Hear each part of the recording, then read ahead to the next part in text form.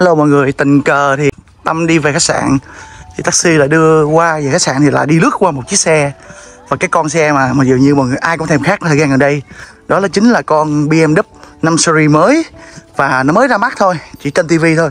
Hiện giờ hoàn toàn nó chưa được à, gọi là, là launching. Mình không biết là con này là series 5 hay là M5 nữa.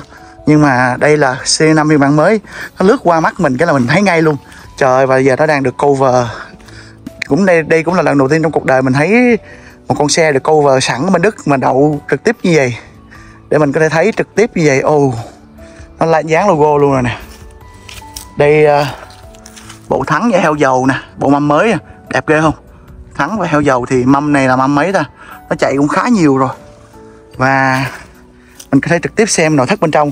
Wow đẹp quá. Trời ơi đúng là năm series mới. Rất đẹp luôn. Trời ơi nội thất kìa. Wow. Ơi đó. Đây là con năm mới. Cái đèn mình bữa hôm mình nhìn thấy là cái đèn của uh, con uh, như là con Camry vậy.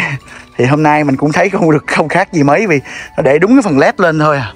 Đó để đúng phần led lên à. trời không thấy được gì hết trơn nó dán tối hù luôn. Nhưng mà ẩn sâu bên trong nó vẫn là chiếc xe BMW đó, nó để này phản quang nè để uh, hoặc là một số nơi nhạy cảm.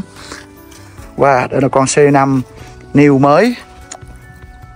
Ở đây có logo BM nè, nó đóng mờ nè. Nó mình có thể nhận ra được. Và xung quanh gần như là nó đã xóa hết mọi chi tiết. Một số đường gân nó làm lệch luôn. Thậm chí, mình có thể thấy rõ nè, ở trên đây nè, nó đóng lệch đường gân cho mình không thể cảm nhận được cái xe.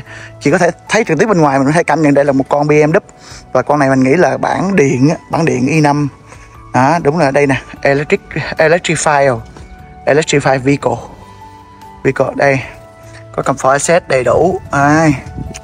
đó nút này nút điện ở đây nè. Nút nắp điện đây. Và BMW LED wow. Tình cờ gặp ảnh ở ngoài đường luôn chứ trời ơi. Mà bên ngoài đẹp lắm nha. Cái phần LED này nè. Ôi nhìn đúng về luôn á. Uhm. cái đèn mới bây giờ nè. Rất sọc sọc sọc con cái con X5 mới thì chỗ vị trí chỗ này nè. Nó có cái uh, mặt ca lăng là hình caro hình giống như là vết cắt vậy đó. Còn cái con này thì nó lại là không không phải là vết cắt như vậy. Đó.